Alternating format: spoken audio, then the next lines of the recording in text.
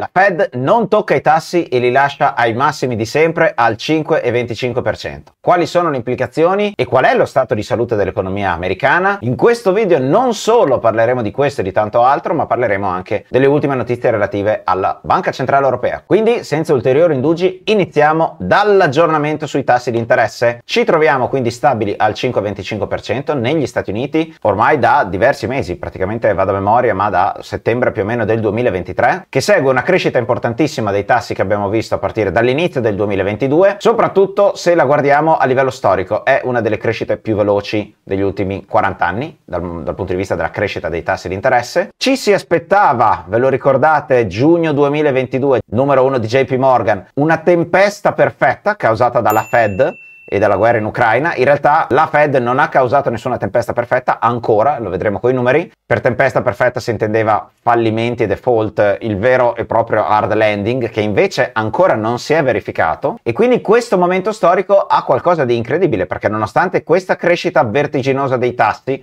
nonostante gli avvertimenti di persone molto autorevoli come Jamie Dimon, l'economia ha tenuto, commenteremo e l'abbiamo già fatto in altre occasioni, l'ultimo trimestre dell'anno per quanto riguarda il prodotto interno lordo lordo americano è stato impressionante, molto positivo e per ora sembra che l'ipotesi soft landing, quindi atterraggio soft, vuol dire riduzione dell'inflazione senza shock recessivi, sia stato raggiunto dalla banca centrale americana. Ma c'è un ma, perché l'inflazione non è che sia su una traiettoria chiara di riduzione, è questa la ragione per cui non hanno potuto toccare i tassi ancora. E ti ricordo, ne abbiamo parlato in questo video, che i mercati scommettevano già verso settembre-ottobre dell'anno scorso che a marzo ci sarebbe stato il primo taglio. Invece la Fed ha detto no, no, non solo non ci sarà marzo, lo vedremo dopo, se ne parlerà tra diversi mesi, proprio perché questo fenomeno di riduzione dell'inflazione non è ancora sotto controllo, nel senso che c'è stata una forte riduzione soprattutto nella seconda metà del 2023,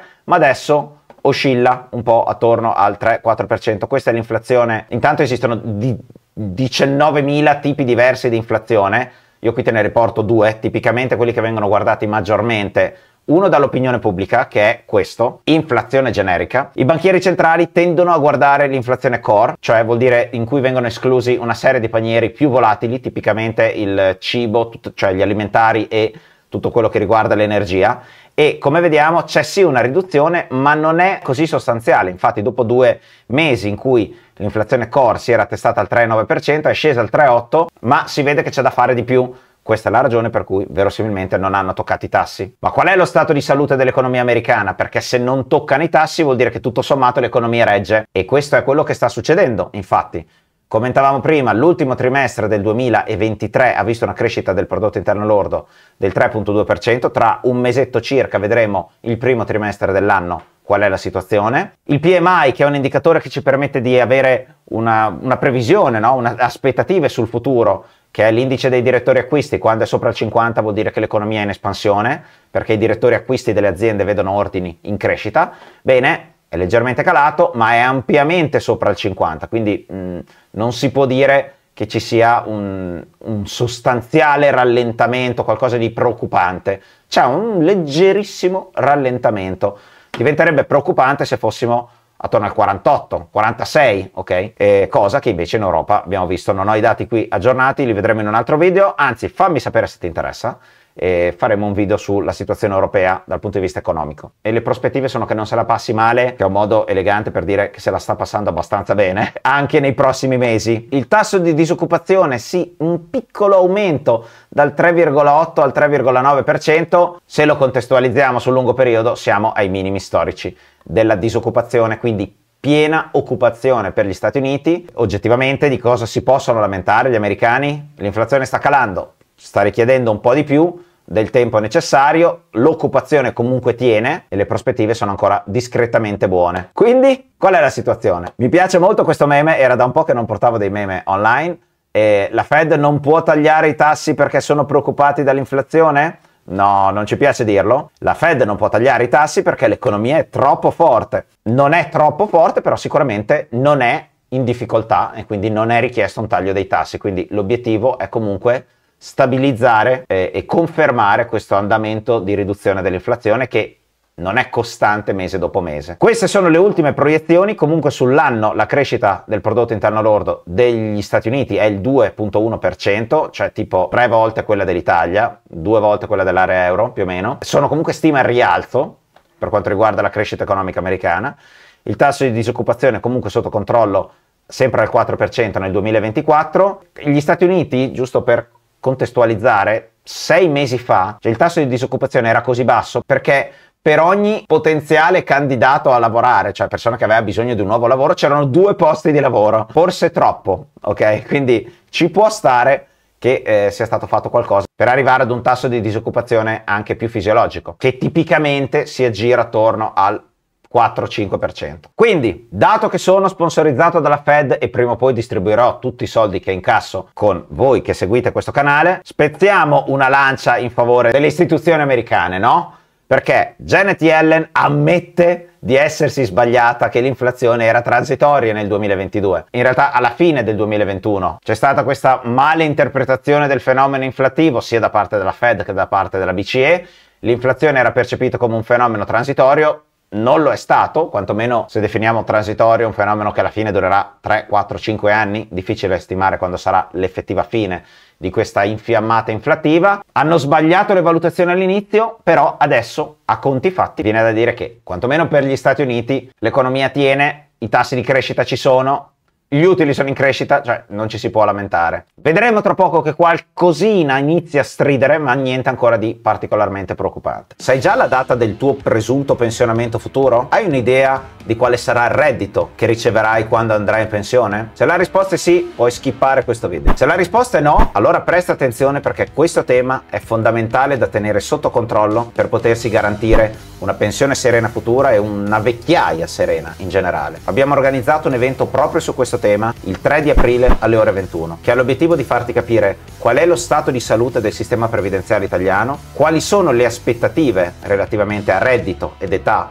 del pensionamento e infine quali strategie adottare per poter crearsi una pensione integrativa e di conseguenza avere una pensione serena e tranquilla nel futuro. L'evento è totalmente gratuito, puoi iscriverti cliccando il link che trovi in descrizione di questo video. In realtà ti svelo un segreto, questo canale non è sponsorizzato dalla Fed ma è sponsorizzato dal sottoscritto che è un imprenditore che ha anche un altro canale in cui parla di impresa, di crescita personale, di sviluppo professionale e se ti interessa, e lo so che vi interessa perché molti si sono già iscritti, questo non è più aggiornato, siamo ormai ai 2000 iscritti, iscriviti al canale, ci sono contenuti molto interessanti dietro le quinte. Stiamo rifacendo completamente lo studio proprio per produrre più contenuti anche per questo canale, quindi iscriviti totalmente gratuito e condividiamo contenuti più lato impresa e diciamo questo canale rimarrà lato investimenti e finanza personale. Quindi anni spesi a capire chi finanziasse questo canale Soros, Putin, Lagarde e invece no, vi ho fregato tutti perché il canale me lo sponsorizza da solo. Grazie per i commenti perché rendono molto più divertente questa attività divulgativa. Ok, ma torniamo torniamo alla domanda, quindi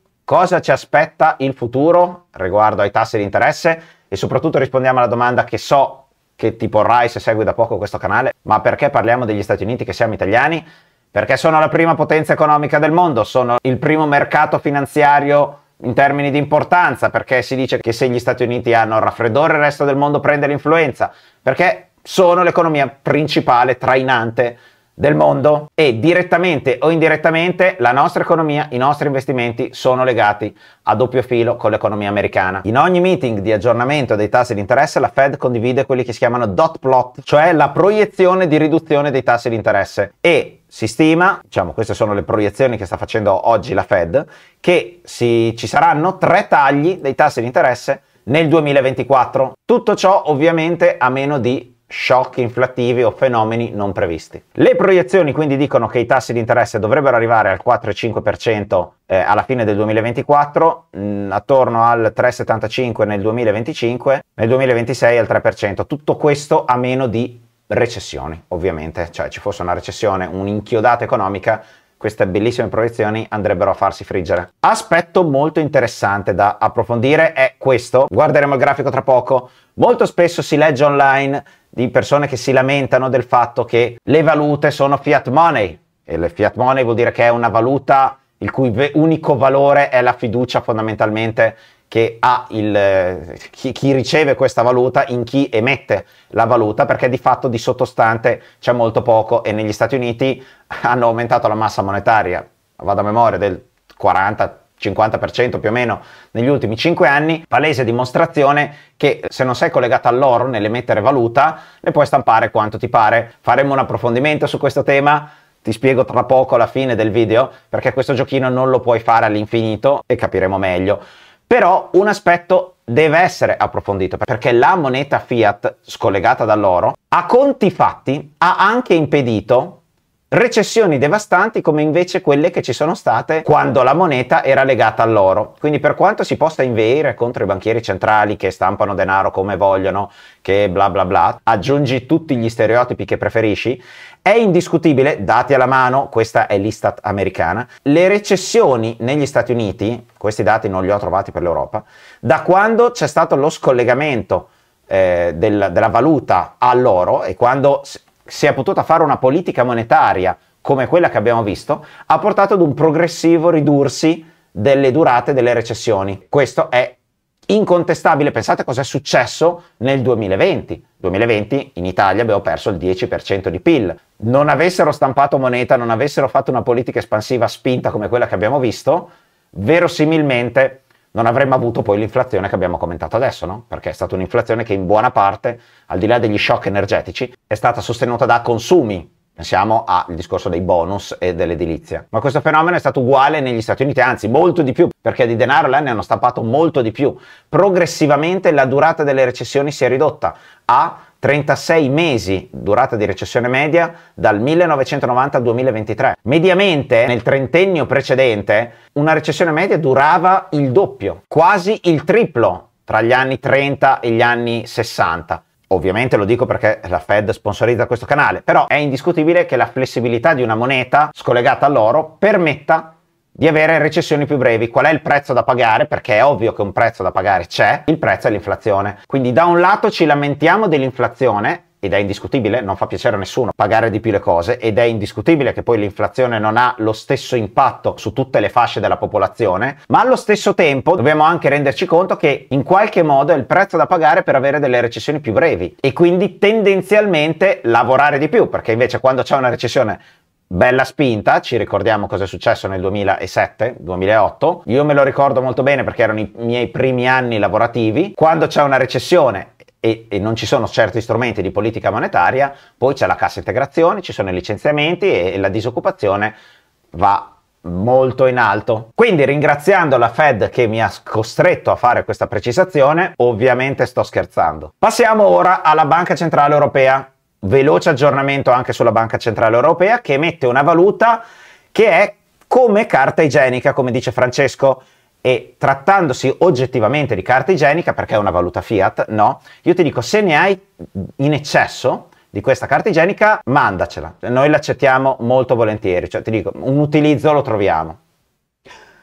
La Banca Centrale Europea è guidata da Christine Lagarde, che è praticamente un personaggio straamato da chi segue questo canale, come possiamo vedere dai commenti, in quanto marionetta di Schwab e passiva esecutrice della sua azienda 2030 della quarta rivoluzione industriale. L'area euro rimane ad un tasso di interesse del 4,5% e ormai è da settembre 2023 che non ci sono cambi sui tassi, ma Christine Lagarde ha recentemente detto che se le previsioni saranno confermate, a giugno potrebbe, dovrebbe, chi lo sa, esserci il primo taglio dei tassi. Oltre all'inflazione, monitoreremo i dati sui salari, come abbiamo fatto noi, i margini di profitto delle imprese e la crescita della produttività. Ha poi anche precisato che dopo il primo taglio dei tassi non possiamo vincolarci ad un determinato percorso di riduzione. Come dire, l'errore l'abbiamo già commesso una volta, di dire che l'inflazione era transitoria, adesso ci andiamo con i piedi di piombo e di conseguenza, se va bene tagliamo i tassi a giugno, e poi vedremo in corso d'opera, quindi non chiedetecelo neanche perché è inutile se poi i dati non confermano l'andamento di riduzione. Quindi tutto a posto? Viene da dire? Sembrerebbe di sì, cioè nel senso tutto rimane stabile,